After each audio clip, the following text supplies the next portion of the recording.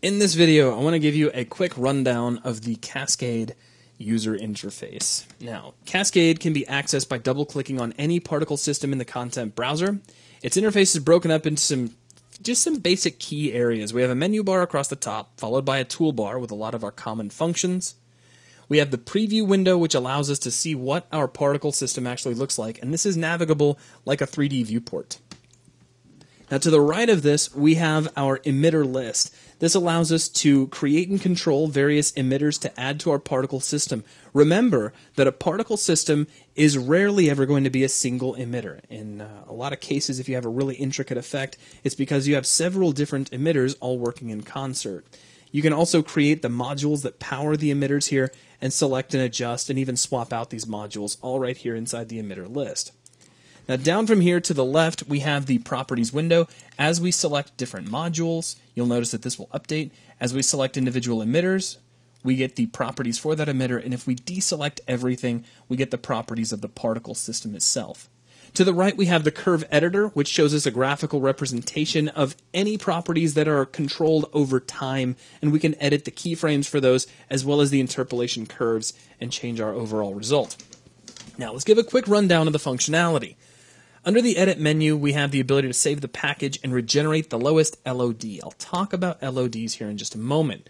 Underneath View, we can control the visibility of several different aspects in our viewport, such as the origin axes, the number of particles coming out of any given emitter, and so on.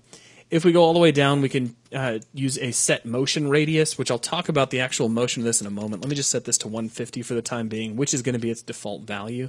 You can save the camera position if you need to uh, store a particular location in your preview window that you like.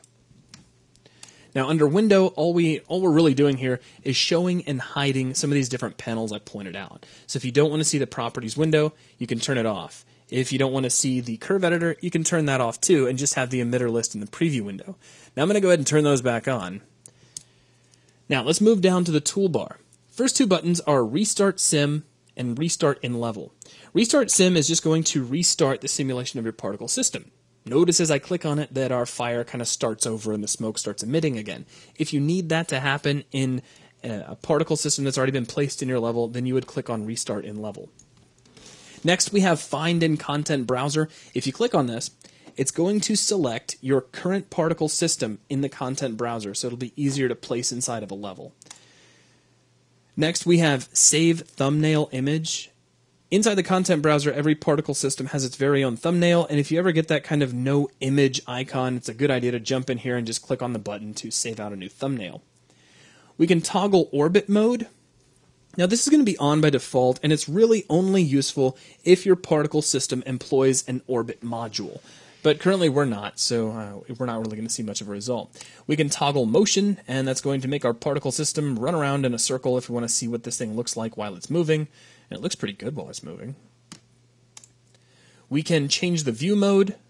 So if we just left click on this, we're just cycling through different view modes. If you'd like more direct control, you can right click and choose the one you want to use.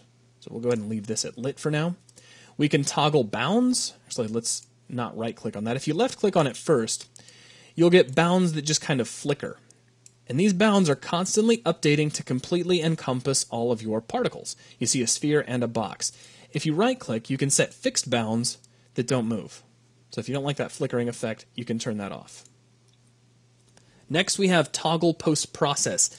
Right click on this, and you can choose different post process effects to activate. For instance, now let's get close to our little fire again. We can turn on depth of field and see how that would look on our particles, just as an example. Now, down from here, we have toggle grid. This gives you a three-dimensional grid, which not only can help you locate where you are in 3D space, but in this case also shows that we've got a little bit of a shimmer effect for our heat, which is pretty much invisible under a black background. We have play and pause. These do exactly what you think they do. Uh, play will keep the simulation playing, pause will stop it. We can also set the sim speed. Now you can left click on this button and cycle through various simulation speeds, or you can right click and choose the one you want to use. So here's our fire at 25%. And we'll go ahead and set that back up to 100. We can toggle the loop system. If you have a particle system that does one thing over and over again, like let's say an explosion, which is just going to go blam and then it's over. If you leave toggle loop system on, it'll just keep on exploding, so you can see what it looks like each time. If you only want to see it once, then turn your toggle loop system off. Now, this particular particle system doesn't loop, it just goes on forever, so we won't see any result here. Toggle real time gives you real time results in your viewport. If we turn this off, our particle system will quit moving unless we're moving the mouse or causing other uh, updates. So go ahead and leave that on. We can change the background color of our particle system window, our preview window.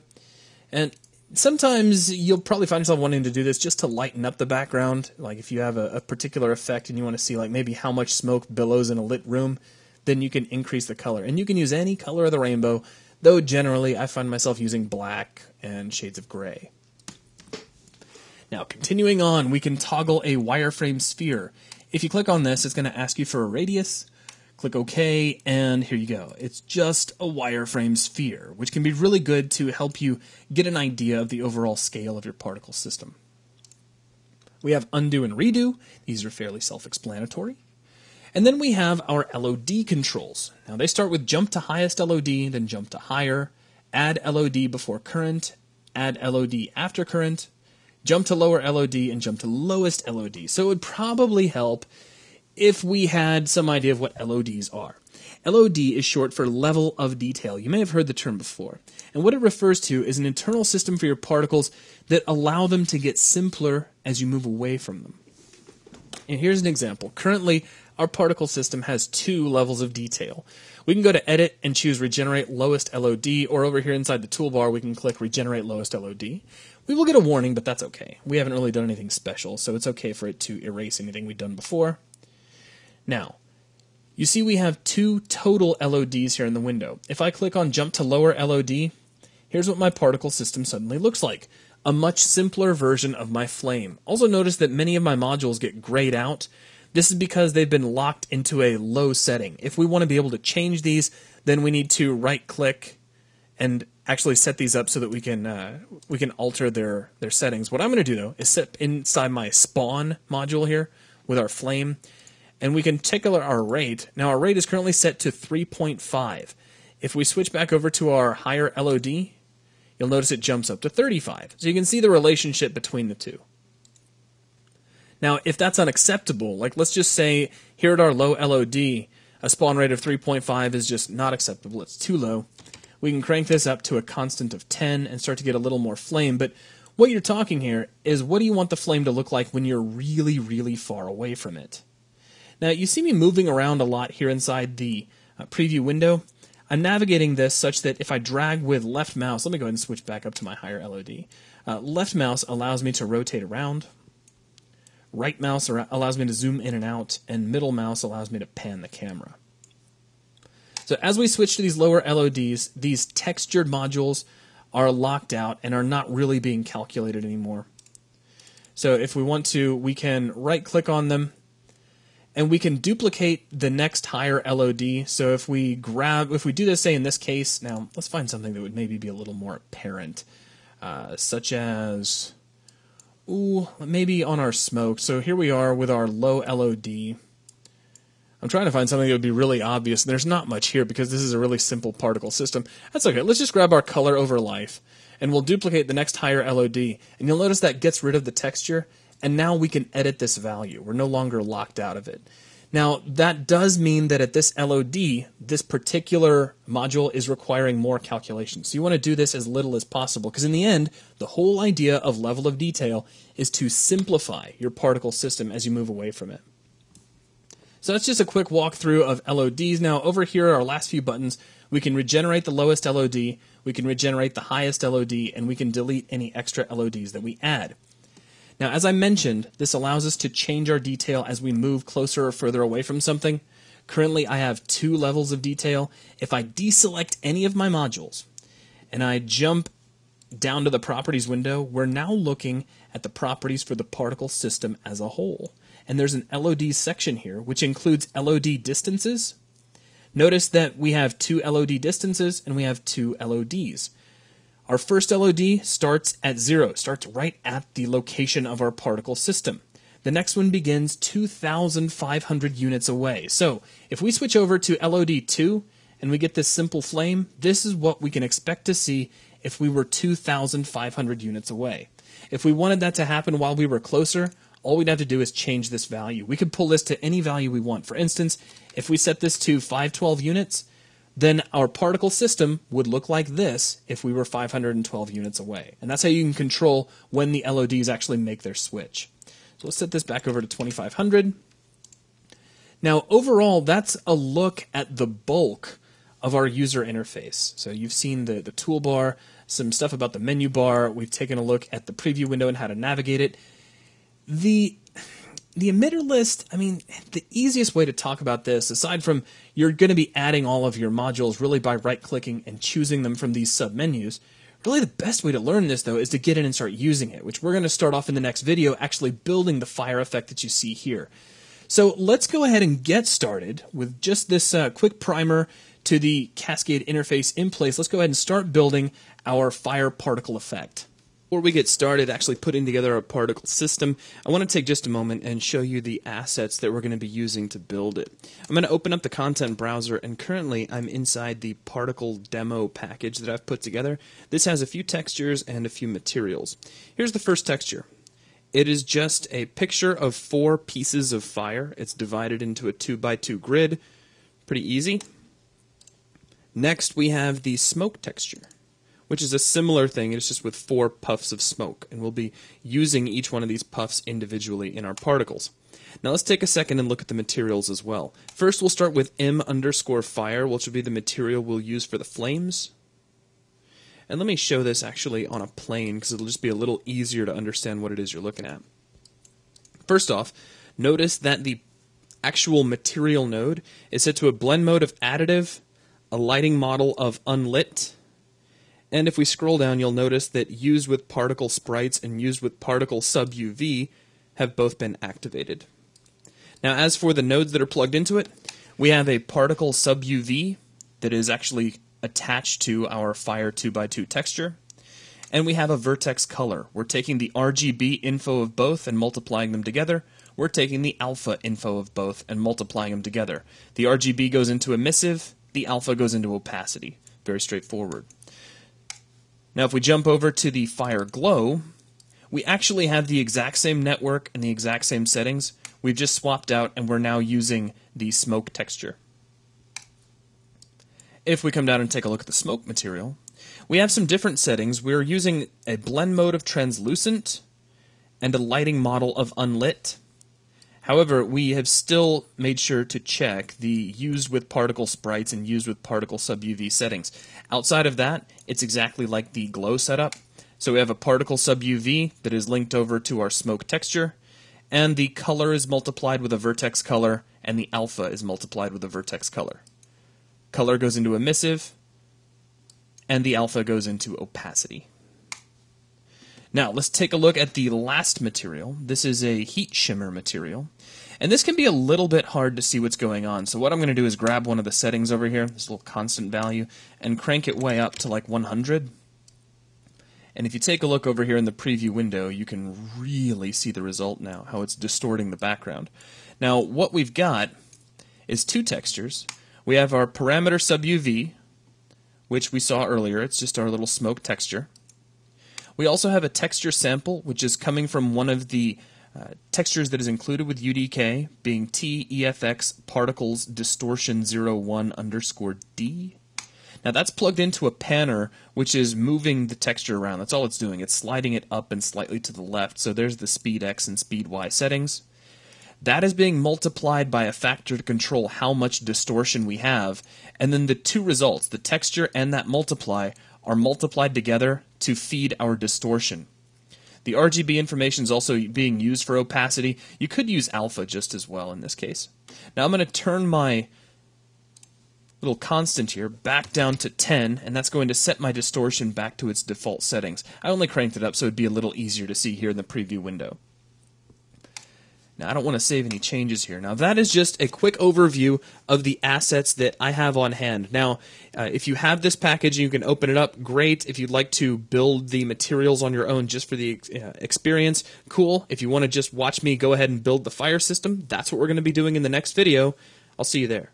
Let's get started constructing our particle system. In this video, we're just going to be constructing the base particle system itself and adding our first emitter and changing just a few settings. Let's go ahead and get started. I'm going to right click here inside the content browser and choose new particle system and it'll ask for some information including the group and asset name. So let's give this a group of particles and name of PS fire. Now that will show in the content browser and it's also going to open up inside Cascade, which is currently minimized back here in the background. So let me go ahead and enlarge that. Now, currently, Cascade is completely blank. There are no emitters. There's nothing in this particle system just yet. I'm going to minimize Cascade away for just a moment.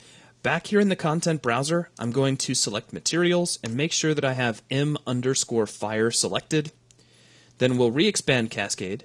And then here inside the emitter list, which is this great big black area that you see, right-click and choose New Particle Sprite Emitter. By having that material selected beforehand, you'll notice that it is automatically applied to the particles of our system. Now, I just zoomed in on that. I did that just by dragging with the right mouse button. The controls in here are drag with the left mouse button to tumble around, middle mouse to pan the view, and right click to zoom, just as a quick reminder. Okay, now starting at the top, we're going to be changing some of our module values within this emitter. I'm going to start with the required module. Make sure that your screen alignment is set to PSA square. That's going to keep all of our particles uh, sprites perfectly square. They're not going to stretch out or become rectangular. Down underneath sub UV, we're going to set the interpolation method to PSUVIM random. Now, once we get this fully set up, that means we'll be choosing one of the four images of our material at random. But we need to establish the number of images in each dimension. So we're going to set sub images horizontal and vertical to 2. Now you still won't see a random selection take place. That will actually come when we add a special module just for the purpose. Let's jump down under spawn. Now inside the properties for spawn I'm going to expand rate and underneath rate, you're going to see a distribution. Now, at this point, we haven't really talked about distributions, but that's okay. We're just going to kind of go with them for now. I just want you to take note of the word and notice that underneath it, here we're looking at a distribution float constant. And if I expand that, it's just a single constant value, which currently I'm going to set to 35. Underneath we have the rate scale, which I'll expand. We also have another distribution float constant, that's currently set to a scale of 1. We'll go ahead and leave that at its default. Now let's also set up the lifetime for these particles. So I'm going to jump down to the lifetime module in my emitter list. We'll expand lifetime, again the word distribution, this time a distribution float uniform. And this uniform gives us a min and a max value. So we can actually specify a random range. We're going to set these flames up to live between 0.375 seconds and 0.75 seconds. So now some of the little tiny flames live for longer than others. Now, what I'm going to do is go ahead and stop right here. I just want you to get to this point. So let's go ahead and close out of Unreal Cascade. And let's save our package. And that's going to wrap up this video. In the next video, I'm going to talk to you specifically about distributions, now that you've seen a couple of them, so that you have an idea of what distributions are and how they work, especially with Cascade. Let's talk about distributions. Now, first off, what is a distribution? Really, a distribution is just a way to handle numbers. Now, there are five types of distribution available. There are constants, uniforms, constant curves, uniform curves, and parameters. Though you should note that all five of these distribution types exist for float and vector data types. So in the end, you'll have a float constant, a float uniform, a float constant curve, etc. Now let's go one by one through each of these. A constant, what is it? A constant distribution will provide a single number that does not change over time. So an example would be something like 13.7, which could be positive or negative, and for a vector, it would be a value for x, y, and z independently. A uniform distribution allows the user to specify a range of values. Each time the distribution is called, it provides a random number from within the range. An example for a float would be something like negative 30.055 up to 18.925. And for a vector, you can see we've got a minimum value for x, y, and z and a maximum value for x, y, and z. And each time we called on that distribution, some number would be chosen from within that range. Now, it should be noted that in the case of a vector, a random number will be chosen independently for each of the three axes. Moving along, we have constant curves. Now, constant curve distributions are values plotted as points along a curve, which allow for a value to change over time. And it's important to note that the interpolation between these points can be edited in a Bezier tangent fashion. There's actually a curve editor inside the Cascade particle editor that we can use to edit these curves if we desire. And here are some visual examples. So you can see on the left we have a float value, which is a single number graphed between three points that slowly sweeps up. And then for the vector, we have three curves that are separated. Now, curves will not always be separated like this. They've just kind of been pulled apart for the case of an example. Sometimes they'll stack right on top of each other. Now, next we have a uniform curve, and this is a little more complex. Uniform curve distributions allow each point of a curve to be plotted within a min and max value. And as time progresses, a random value is going to be selected from within that range. Now here's what this would look like if graphed out. For a float, notice we have two curves, a min curve and a max curve, and the shaded area in between would be the random area from which a value would be called. Now an important thing to keep in mind is generally you would want to avoid using this distribution on anything that's going to be called on every single frame of animation. Because that means on every single frame, you're going to get a brand new random value. Now, granted, it will be within a range, so there's there are certainly some uses for this, but generally speaking, it'll cause a jitter. And then over in the vector side, you can see we have min and max curves for all three of the axes, and you can see a little bit of overlap there. Finally, we have parameters. And parameter distributions allow a value to be accessed and changed through Kismet or Matinee. And just a couple of examples, and these examples could really go in any direction that you can imagine. But for a float, we have a quick example of using Kismet to shorten the lifespan of a particle system, such as allowing the player to turn down the intensity of a gas flame. Or with a vector, you could use Matinee to change the initial size of a particle system, such as increasing the spawn rate of sparks as an animated laser beam cuts through an object. Now that's just a quick look at all of the different distribution types. Now let's jump back over to UDK for just a moment, and I'm going to open up our PS Fire. And let's just grab, it doesn't really matter which one, so many properties have a distribution on them. I'll jump into our spawn module, and we'll take a look at the rate again. Now notice under rate we have a distribution, and we can change that distribution at any time if you take a look right at the end of the word distribution, all the way across the property, there's a little tiny blue arrow button. It says create a new object, and this gives you access to all of the different uh, types of distributions that you can apply to this property. So you're not limited to just using a float constant. If we wanted, we could take the spawn rate and give it a min and max value by applying a uniform, and then we'd have a random variation. So that's a quick look at distributions as we work through the various uh, modules for our particle system. We're going to be changing distributions a lot and setting their values. So now you know how they work, and that's going to wrap things up for this video. Now that you understand how distributions work, let's move on with our particle system.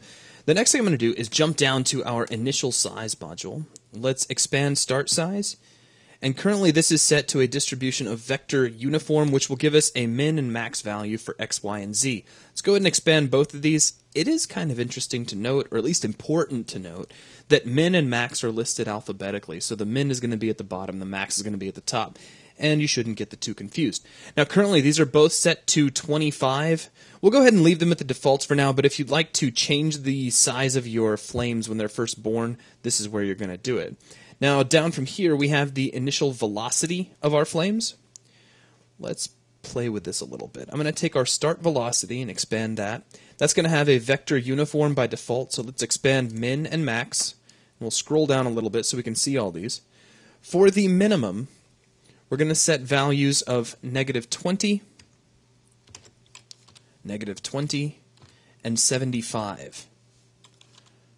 For the max, we're going to set values of positive 20, positive 20, and 125. So our flames are generally moving up, but they've got some left and right variation. That's essentially what we've just defined. Now, moving on from here, we've got a color over life module that's here by default. So let's take a look at this. I'll go ahead and expand color over life. Now, currently, its distribution is set to vector constant curve. What I'm going to do is replace that with just a regular vector constant. The material that we've set up already has the flame color that I want to use. So I'm going to come over to the distribution, click on the little blue arrow, and just choose distribution vector constant. And we're going to set the constant value to 1, 1, and 1. So we're just going to basically use that default color that's already applied in the material. Now down from here we have the alpha over life as well. So let's close up color over life. We'll expand alpha over life. This also has a distribution of float constant curve. And what alpha is going to do is allow us to make our particles fade out. Now they're already fading out just a little bit. If we expand the uh, float constant curve, we can take a look at its points. And it has two points, and it's important that you see how to read these. So let's go ahead and expand these out. You have two values on a curve point. You have an in value and you have an out value. The in value is the time along the life of the particle or the life of the emitter as it may be that the value takes place and the out value is literally what your value is. So in this case, we're starting off at the birth of our particle, which is time index 0, and we have an alpha value of 1, which is completely opaque. Now take a look at our second point. We're saying at an out an in value of 1, which is the end of our particle's life, we have an out value of 0, meaning we're fading out over time. So we start off at birth, fully opaque, we end up at death, fading away. And we can see that result in our preview window. What I'm going to do is actually graph this out so we can see the result. Let me go ahead and just kind of pull this up a little bit. Over here on our color over life module in the emitter list, at the far end, there's a little tiny green icon that looks like a curve. If you click that, you can see the result over here inside the curve editor. And I'm going to scroll back on the mouse wheel to make it a little easier to see. And you can see how we're just dropping off in our opacity as time marches forward. We're going to change this a little bit. Let's start off by adding another point. So over here inside our points list, in the properties, if you look all the way over on the right hand side, you'll see a little green arrow labeled add new item. Let's go ahead and click that, and now we have a third point.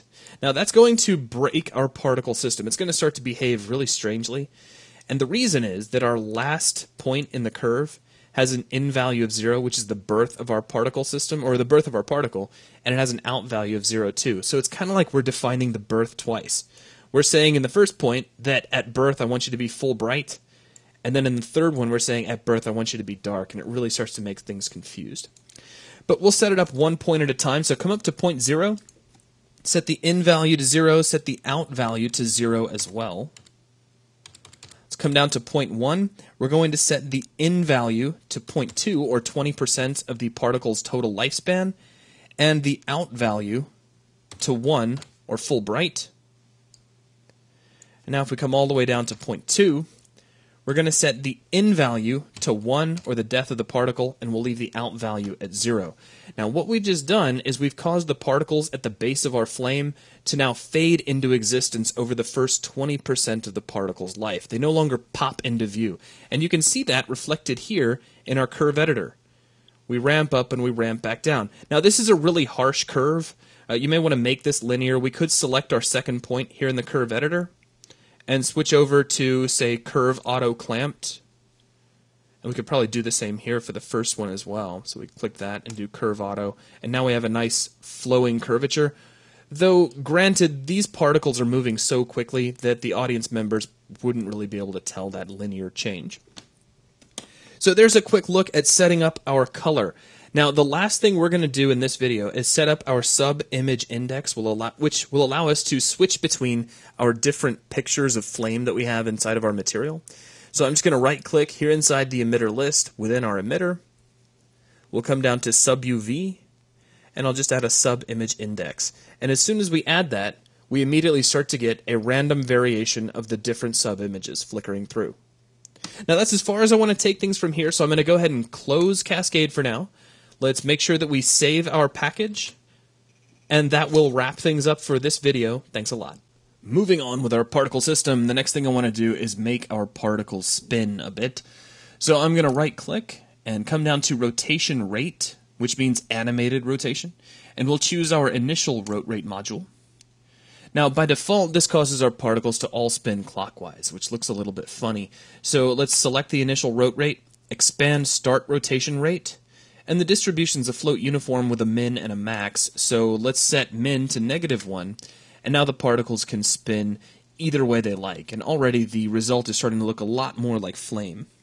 Now next, I want to change the point in space from which these particles are spawned. Currently they are all spawned from the exact same location, and it does look a little bit funny. The fire will look a bit more natural if we can spread that out. So what I'm going to do is right click, come down to location, and choose a cylinder module. Now if we select this, and take a look at all of its properties, there are a lot of settings to control the, uh, the look of this cylinder and how it's placed, but if we scroll down, at the very bottom you'll see Cascade 3D Draw Mode. Go ahead and switch this on, and you can visualize the cylinder itself, and you can kind of see how this works.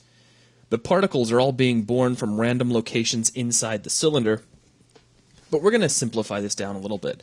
Let's take the start radius. Currently this is set to a float constant of 50. Let's pull that down to 5, so it'll be a lot smaller. And it's a little bit on the tall side, so let's come down to start height. And we're going to pull that down to 5 as well. So now our particles are, have a little bit of variation in the point at which they're born, which causes a little bit more of a flickering effect. When you're done, go ahead and switch off 3D draw mode for the cylinder so it's not a distraction. Okay, so next we're going to work on the size of our particles. And we're going to change the particle size throughout their lifespans. Basically, we're going to make the particles get smaller over time. Actually, technically, we're going to make them start off small and then get bigger and then get smaller again, if you really want to be technical. So let's right click. We're going to come down to size and choose size by life. This allows us to change the size of the particles across their lifespan using a curve. So we'll select that, take a look at the life multiplier property, and you'll see this already has a distribution vector constant curve. Now if we expand this, we have two curve points by default, 0 and 1. And if we expand this, let's just expand our first point, you'll see we have an in value of 0, but the out value actually has to be expanded, and that's because out value has numbers for x, y, and z. However, when we first set up our emitter, you might recall that we had set our required module to have a screen alignment of PSA square. This means that our particles will always be square in shape.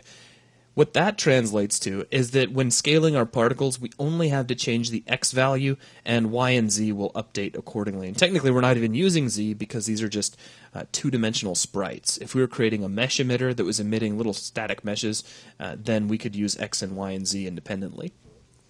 Okay, so let's jump down here to our settings. For point 0, we're going to leave the in value at 0. We're going to set the out value to 0 as well. So now we have these tiny little particles that get bigger across their lifespan. let's close that up and jump down to point 1. For the next in value, we're going to go to point 2, which is 20% of the particle's total lifespan. And we're going to set the out value to 1.25, so 125%. So now you can see those particles growing over that first 25%. Now I'm going to add one more point. So up here in my points, I'll click plus, which will break my particle system for a moment because by default, your in value is set to zero, which is the birth of the particle, and your out value is set to zero as well. So we're kind of overriding that first point. So let's take the in value and set it to one. The out value by default is zero, which will work fine. That just means our, our flames are going to billow outward and then they're going to get smaller as they go up. So that takes care of our size over the life of the particles. The only thing is that if we take a look at this curve, if we send it over to the curve editor and let's go ahead and I'm going to remove some of the uh, other objects from our curve editor. We can just uh, switch these off actually. Now let's view uh, everybody. So I'm just going to click view all. And in this case, we actually do kind of see that really harsh change in direction from the linear interpolation. So I'm going to fix that by coming over here to our X curve. You see how it kind of jaggedly goes up and then back down? We'll select that first point down here inside the curve editor. I'll try to center it up to make it easier to see. And we'll go ahead and give this a tangent type of auto clamped. And I'll come up to the second point and do the same. So now that smooths things out, and you no longer see that kind of pointy billow because it, it, was getting kind of obvious that your particles were getting large and then immediately getting down with kind of a jerky style motion. So that fixes that problem. Now, with that, our flame emitter, as simple as it is, is essentially done. So I'm going to go ahead and save my package. Let's go ahead and close out of Cascade. We'll select the particle demo and hit Control S, and that will wrap things up for this video. Thanks a lot. Continuing with the particle system, the next thing we're going to add is a brand new emitter whose only job is to add a little bit of glow to our flames. Now, it needs to have exactly the same behavior as our flames, which makes this pretty easy. What I'm going to do is select our flame emitter, and it'd probably be a good idea to name this emitter, especially because we're about to have another one. So I'm going to start off by selecting the emitter name, and let's change this to flame. Then I'm going to right click on the emitter.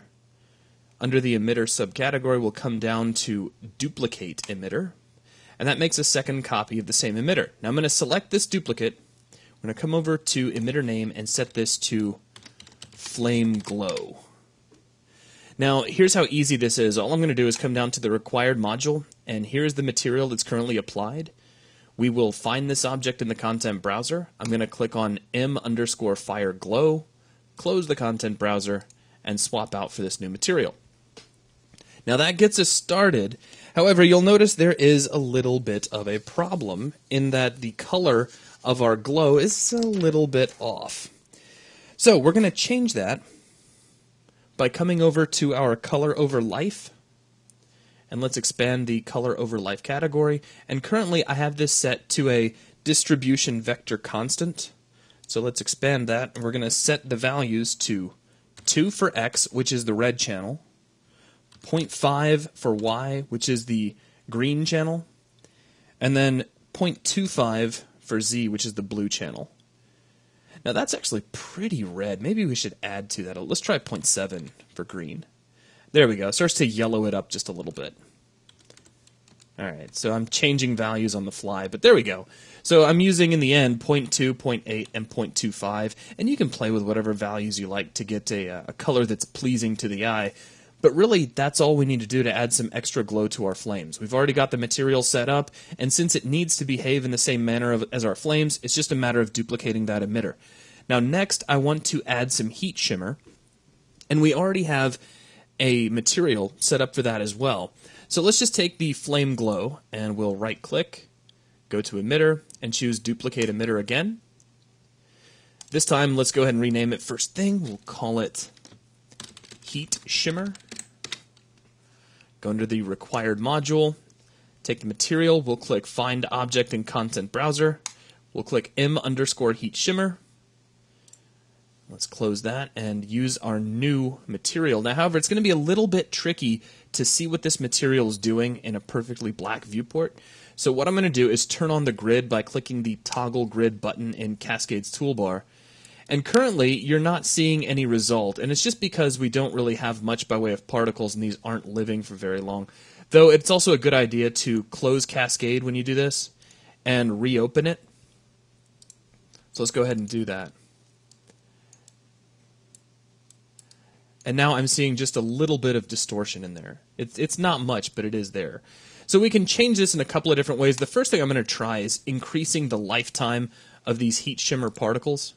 So they're starting off with the same as our flames, which is 0.375 to 0.75. I'm going to change that to min of 1 second and maximum of 1.5 seconds. And that gives us a lot more distortion. You can start to see that actually inside the flames. So I'm going to also, let's take a look at spawning maybe just a few more particles. So we'll expand spawn, rate, and take that float constant. Let's kick that up to 45. And now you can really see some shimmer coming off the top of those flames. So now we've added two more effects to our particle system pretty quickly, actually. We've got a flame glow and we've got a heat shimmer. That's where we're going to go ahead and call it for now, though. So let's close up Cascade. Let's make sure we save our particle demo package, and that will wrap up this video. The last thing our particle system needs is a little bit of smoke. Now we could just take one of our existing emitters, duplicate it, change out some modules, adjust some settings, and voila, we would have smoke. But I'm going to create a new one from scratch. It's just good practice. So we'll right click, choose New Particle Sprite Emitter. Now this time I did not have a material selected beforehand, so I get the ever so lovely default material. Now we need to change that. So before we do anything though, let's rename the emitter. I'll select it, right click, go to emitter, rename emitter, and let's call this smoke. Now I'm going to jump into the required module, and we need the actual material we're going to use. So if I put Cascade away, back here in the content browser, we have m underscore smoke, and I'll just go ahead and apply that. Now some of these settings are the same as what we use for the flame and glow emitters. So we're going to take interpolation method, set that to random. We're going to take sub images horizontal and vertical and set both of those to 2. So now we're getting some little puffs of smoke. Moving down from here, I'm going to take the spawn rate and pull that back. So if we go down under distribution and it's float constant, we're going to set that down to 10. Let's switch down to the lifetime module. And currently this is a float uniform, which is good, but it's set to a min and a max of 1. So Let's set this to between 2.5 and 3.5, like so. Now moving down, we're going to take a look at our initial size. Now by default, this is set to uh, between 25 and 25. So let's take our max and we'll set x to 35.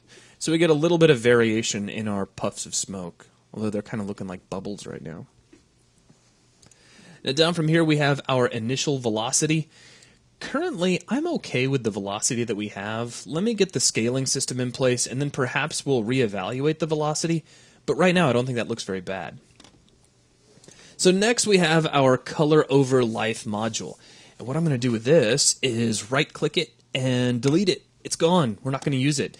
We're actually going to start off with an initial color and then we're going to scale that initial color over the life of the particle.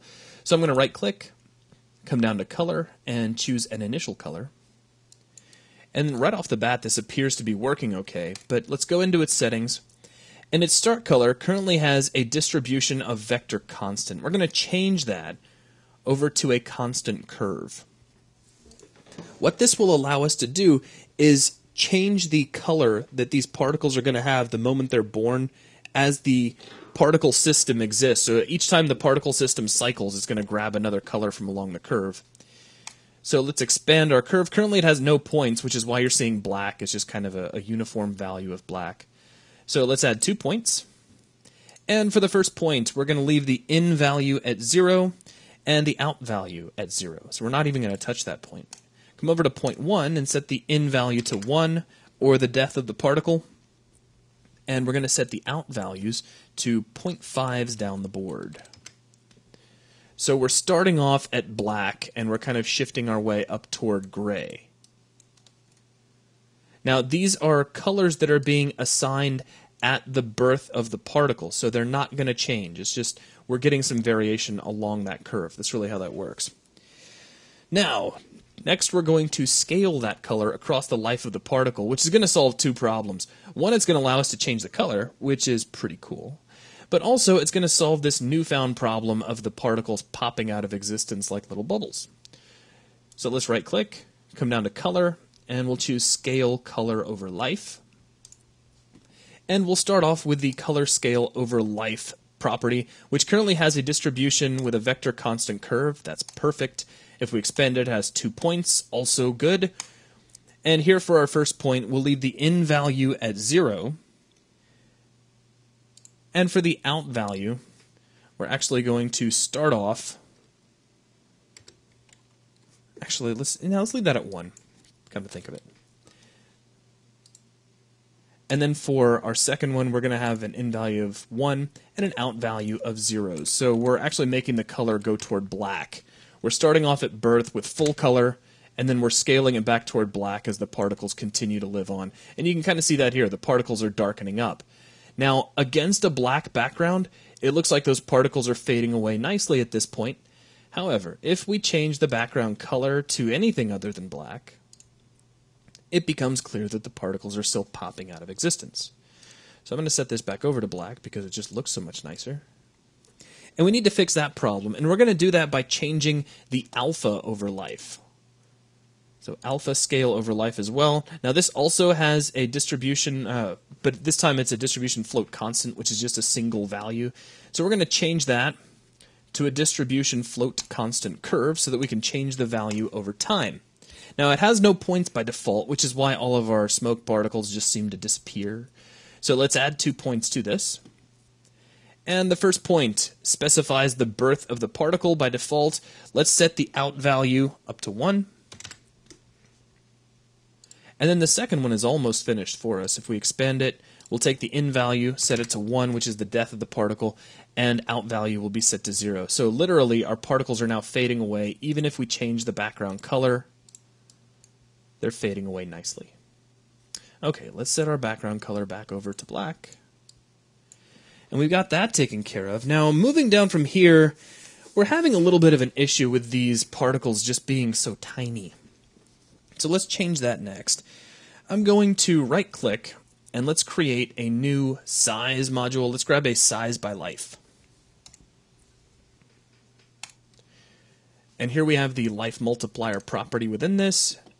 And this is already set to a distribution vector constant curve with two points, such that the first point gives us full scale, and the second point is the point at death that also gives us full scale. Well, that's that could be better. So let's start with point one. Actually, you know what? Let's start with point zero, because what we're going to do with our in value of zero, which is the birth of the particle, we're going to take the out value and set that to zero. So these smoke particles are going to start off infinitely small. Then for point number one, we're going to take the in value and set it to 0.33, which is 33% of the particle's life. Take the out value, and we're going to crank this up to 2.5. So now our particles are seeming to grow. But that's not all. Actually, it looks a lot better already.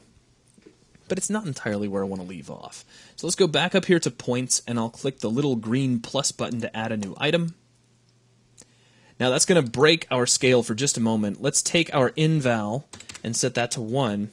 And the out value we're going to set all the way up to 8. And now our particles will grow up to 2.5 times their scale over the first 33%, and they'll spend the rest of their lives scaling up to eight times their scale. And now we're starting to get some nice billowing smoke. Now, it would look a lot cooler if this smoke was rotating, so I'm going to right click, come down to rotation rate, and we'll grab initial rot rate.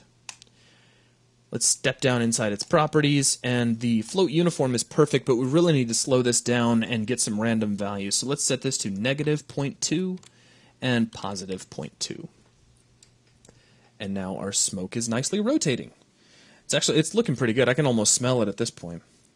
Now let's see, is there anything else we really need to add? I guess a cylinder wouldn't run amiss, though technically these guys are starting off so faint that they're kind of working.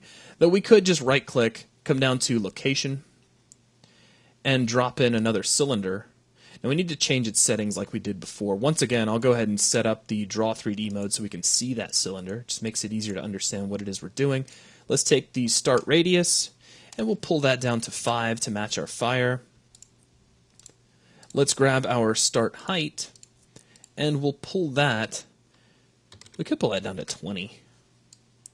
But then if we do that, let's offset the cylinder. We'll actually slide the whole thing up into the air. Grab the start location, expand its values, and we're going to set Z to 20. We'll just cause our smoke to be born from kind of a random area slightly above our flames. Now, that looks like everything that I'd really like to add to the smoke. It's really working at this point. Let's go ahead and switch off the Draw 3D mode on that cylinder. The last thing I want to do is turn off the grid, and let's kind of zoom up to where we can see this pretty nicely. And I'm going to click the Save Thumbnail Image button, so that now when I close out of Cascade and take a look at our PS Fire, we actually have a picture of our fire. At this point, go ahead and save your package, and that's going to wrap things up for this video. Thanks a lot. With your particle system complete, most of the work is now done. However, the last thing we need to do is get our particle system alive and working in our level. So what I'm going to do is, here inside of our little demo level that we've put together, I'm going to pick on some machine. Let's say this really weird liquid machine over here. We're going to light this thing on fire. Now to do this, let me jump into the content browser, And here's our little PS Fire particle system. I'm going to slide the content browser kind of out of the way. We'll navigate right up here to the top of this thing, and I can just drag and drop, and we get the particle system. It really is that easy. So I can close out the content browser. If we switch over to real-time mode, you see that we have fire. In this case, our fire is pretty small, so don't be afraid to scale this up by using the draw scale fields down at the bottom of the screen in the console bar. If I set this up to 3, we have 3 times as much fire. Now that's a whole lot of fire. Maybe we should pull that back down. Got a little bit ahead of myself. Now currently you'll notice that I can't select your, uh, my fire, so make sure that you select right on the icon or you can come up here and make sure that allow translucent selection is active, and then you can actually click right on the flames themselves. So either way, just be aware of that setting. All right, now let's pull this down. Maybe 1.5. That's pretty good, but maybe a little more. I don't know. I, let's say 2. 2 will work. And we'll pull that down just a little bit. And if we deselect, it almost looks like there's some fire there. We're getting a nice ripple effect in the background. Some cool stuff but it's not complete. Because with an effect like this, the particles are really only part of the whole solution. You need some lighting as well. So to keep things simple, what I'm going to do is just hold down the L key and drop down a new light. Now, if you really wanted to be hardcore about this, uh, you could create a light and animate it with uh, matinee so that it kind of flickered a little bit and the, the intensity of it went up and down. We're not going to go that far but you could, and it would look pretty nice. Let's open up the properties of this light. Uh, let's see, let's go under light, light component. We'll start off with the point light component, and let's pull the radius back to, say, oh, I don't know, 720 too big? Maybe just 256. I think that'll work for now. Then we'll come up to light component, take the brightness and kick that up to 2, and then take the light color, and we'll make this a nice bright shade of orange. In fact, it might kick that brightness up even more. There we go. So something kind of like so. Uh, that might be too bright. So let's pull that back down to 2. Just so we can still see our particles. Now, at this point, we would have lighting, we would have some particles, but even then, something would be missing. So what I'm going to do, even though we need to rebuild our lighting, if I come over here and get close to our fire, can you tell what's missing? We can't hear it you got to be able to hear fire. So let me go back into the content browser and let's search through all of our assets. I want you to search for fire small. And included with UDK, you've got a couple of sound effects that sound like fire. Now, to me, these both sound pretty much alike. Just some nice flickering sound. Now, with that selected, I'm going to right click here on the ground, choose Add Actor, and we'll just grab an ambient sound simple and it really doesn't like to be moved. Isn't that great? We'll put that right in the middle of our fire and then open up its properties. And let's adjust its radii just a little bit. So underneath ambient properties, we've got our radius min and radius max. Let's set radius min to about 512 and our radius max to about 720, just for the sake of example. So now, if we test out the level,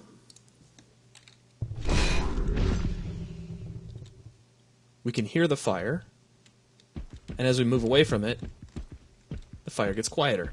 And you could tweak the overall radii and volume of that sound effect. You could also tweak your lighting and rebuild it. This is really just an example to show you that your particles alone will often not get the entire job done. So be ready to add in other elements like sound and lights as well. That is going to wrap things up for this video though. Thanks a lot.